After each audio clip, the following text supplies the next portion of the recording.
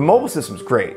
Um, you can bring this in places where you can't install a system, but the room system is so convenient that it, that you can be brought into the your standard operating procedure Yes. very easily. It does not interrupt workflow to, to run this at every single doctor's office. That's why we came up with two systems. You know, I mean, the room system has its place, and then obviously the mobile unit, we're, which we're standing right next to, has its place as well.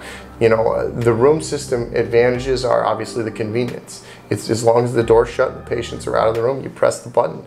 The system sterilizes. If you got to get back in the room sooner, you open the door, it shuts down automatically. You know, you can get, you have the convenience of a push of a button.